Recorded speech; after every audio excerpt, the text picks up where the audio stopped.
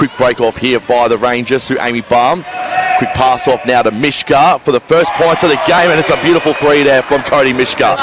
Conti advancing up to the front court. She's got two to contend with. Brent Canisano. Great extra pass. Charlotte to Izzy, and Izzy gets three points. Brent Canisano. Canisano to Conti. Back. Three. Finally, she gets it. Microwave. Her legs are pretty heavy from last night. She played like 39 odd minutes. She'd just be trying to feel her way into the game.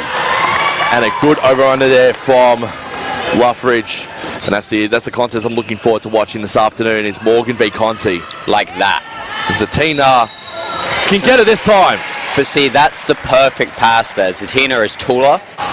Still, same, same principle though. McCorkle, Conti for three. Hey, they even rhymed. Grant Canisano, Zatina. Got a couple to contend with. There's the bucket she wanted. Kissed off the glass and through the nets. Their pressure has been excellent in this third quarter. Downey going to go for three. And El Downey gets one. Cuts it back to one. Margin back at one point. Zatina. How can the Tigers go? It's going to count. It It's going to count. Off Uffridge. Outside. Monique's away. No one's stopping the ball, so she's going to keep going. Conti going to the race there. She'll get the two and she'll go for the extra. Would have been a good three, that's for sure. Luffridge got a couple to contend with. Walls hits the deck. She's okay. But that's good from Zeldin Rick.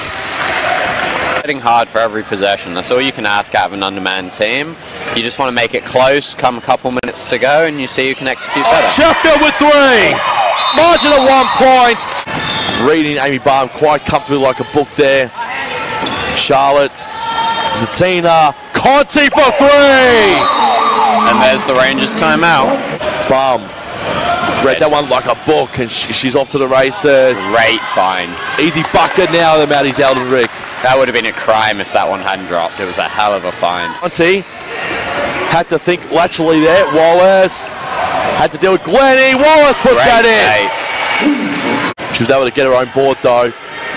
Wallace, she's been good this afternoon. Zatina, they need this bucket.